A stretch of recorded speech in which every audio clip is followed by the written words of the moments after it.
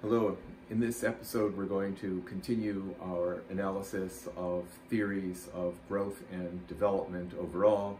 We're beginning our review of chapter 4 now, in which, having looked at the classic four theories and general approaches to economic development, we're turning our attention to some contemporary ideas that have become very influential.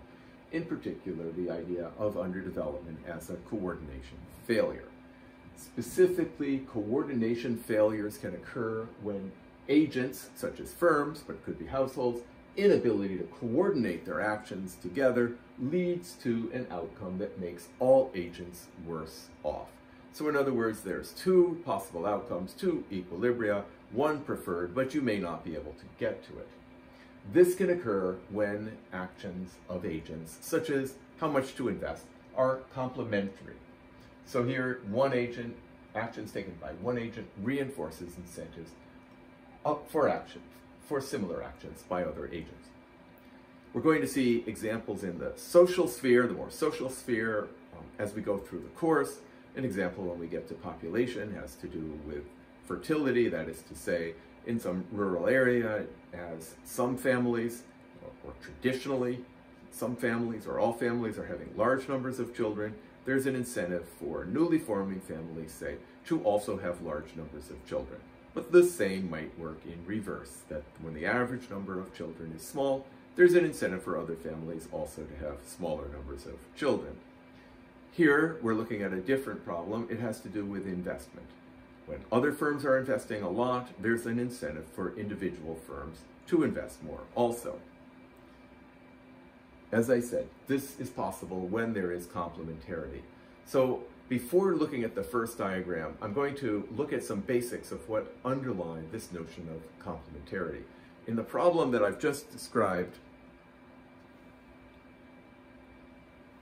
we have to consider a relationship between the average amount of investment spent undertaken by other firms in the economy and the response, the reaction of any one typical firm.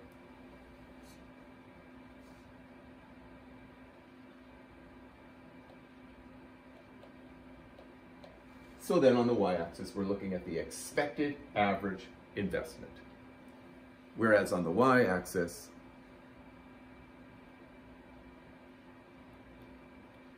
we're looking at the best investment response.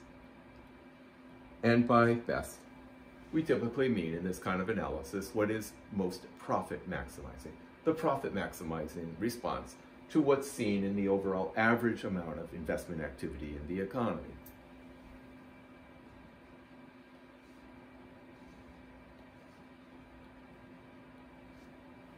When there's complementarity, this relationship is upward sloping, as you see here. That is to say, the more the average expected investment across the economy, the more the firm is going to find its best response in terms of profit maximizing investment level for itself. So for example, it may be that even if other firms are not expected to invest anything, a firm might decide to invest something perhaps because it has opportunities to export what it produces to some other region, as an example. But overall, as the expected average amount of investment increases in, in economy, looking at the other firms, the other relevant firms, this is positive sloping because based upon profit maximizing considerations, the firm decides to, um, in fact, invest more. So this is upward sloping. This is complementarity. Without complementarity, there will not be multiple equilibria. On the other hand, just because there is complementarity doesn't mean there will be. Or you could say that complementarity is a necessary but not sufficient condition for a multiple equilibria situation to emerge. So how do we think about equilibria in this situation? The common way to represent it graphically is very straightforward. It's with a 45 degree line.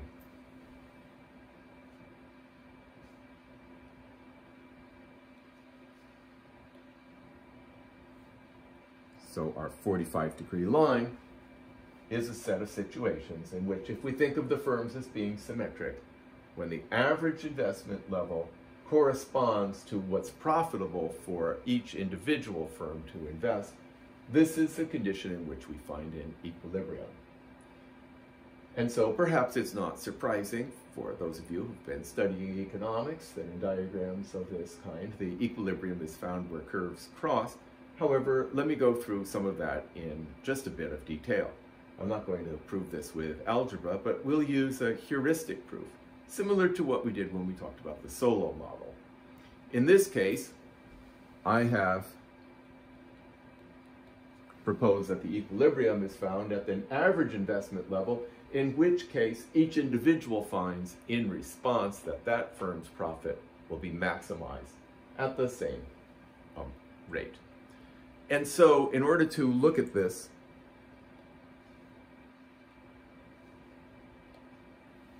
we'll do the kind of um, proof by contradiction, heuristic proof by contradiction approach that we did with the Solow model. So I'm asserting that this is what the equilibrium overall average investment rate is going to look like. And if that's not true, there's two alternatives. The two alternatives in general are that the investment rate could actually be higher or could be lower. We'll just take the case of the lower investment level. This cannot be an equilibrium, however, because if each firm looks at the average level of investment and decides that it wants to invest in more than the average, that must be pulling the average up. How do we know that this is more than the average? The 45 degree line makes what's on the x-axis the same as what's on the y-axis. So if each firm is responding to the average by choosing to invest more than that average, we clearly cannot be in, it, in an equilibrium because each firm is finding it optimal, that is to say, profit maximizing to invest more. So we have to be moving this way. And the same logic will bring us all the way up to this point. Now, of course, you might say, well, why stop here? Shouldn't there be a possibility that an equilibrium is investing more? So to investigate that situation more, we'll just take a consideration of this expected level of investment. Well, this also cannot be an equilibrium because in this case, if the um, response, the best response of individual firms is at a rate um, that is lower than the average, and that is what it means to find this reaction function below the 45 degree line, the most profitable response is less than what's the expected average response. That can't be an equilibrium either, because there's now going to be inevitable reductions in the investment that we expect as we pay attention to what's being invested, what the investment plans are. Indeed, it's that the um, individual investments being lower, it's got to pull down the average. And so we end up back with this equilibrium. So that this gives us the basic idea. But in contrast, of these straight line um, or simple upward sloping reaction functions in which there's one equilibrium. There's a set of cases in which there will, there will be multiple equilibria. All of them have something to do with increasing returns. Of course, increasing returns is a hallmark of modern economy, so it's not too surprising that we find it relevant. But this is introduced in the first uh, graph in chapter 4, the figure 4.1. And with figure 4.1, we have a similar diagram to what I've just drawn. Here we have the expected decisions of other agents on the x-axis, but here it's the average investment level that we're focusing on at this point in the class. And on the y-axis, you have the privately rational response or reaction. And in this case, it's the individual response in investment level based upon what you expect the other firms are doing. Once again, we have the 45 degree line where, as we've just seen, that's where we're going to find the potential equilibria. When we did this, we found that the stable equilibria, as this one was, because if you start higher or lower, you come back to this, to this equilibrium, we found that it exists when you have this reaction function, the best response function, cutting the 45 degree line from above. Here we have an S-shaped reaction function And we see that there are two locations where this reaction function cuts the 45 degree line from above. That's found here, and it's found over here. And so these are going to be two equilibria, two local equilibria, based upon the same kind of reasoning that we had before. Now you might wonder what might give rise to this kind of relationship. There's many possibilities, and some of them are described in the text. One that I think is perhaps less expected and of great importance is this idea of learning by watching. That especially if you're in a developing country, the extent of knowledge about modern production techniques is less great. And so when you see around you examples of other firms investing, there's a lot to be learned in the process. And so if there is more average investment, the more possible opportunities are near you, the chances are higher that it's something you can learn from is nearby, where you're located. And so it's not at all surprising that this relationship could be increasing at an increasing rate. But this does not last forever as eventually you start to run out of things you can learn from watching and observing what other firms are doing and their investment projects. And so some kind of diminishing returns starts to set in. And so that's what gives us this S-shaped kind of relationship in this case with that example of learning by watching. But you can see that there might be many other circumstances. For example, just the fact that other firms are investing more may very well mean that they're in a position to plan to buy more of your product. To be ready for that, you're going to invest to increase your capacity in looking ahead to that. So, by the same logic that we gave before, that with the reaction function cutting from above, we know that this point labeled D1 and this point labeled D3 are both going to be stable equilibria. Now we have this other point in which the reaction function cuts the, the uh, 45 degree line. It's labeled D2 in the diagram in the textbook. Is this or is this not an equilibrium? It's called an unstable equilibrium. I think it's kind of not really an equilibrium at all. It could exist by chance, but if the slightest disturbance were to occur, perhaps it would be something like an article in the Financial Times that turns out to have been a, um, an, an error, but that led individuals to think situations in the economy would, you know, off, would offer less, um, less profitable opportunities um, going forwards. This might lead us to expect less investment in the economy. If that happened, we'd shoot all the way down to this lower equilibrium.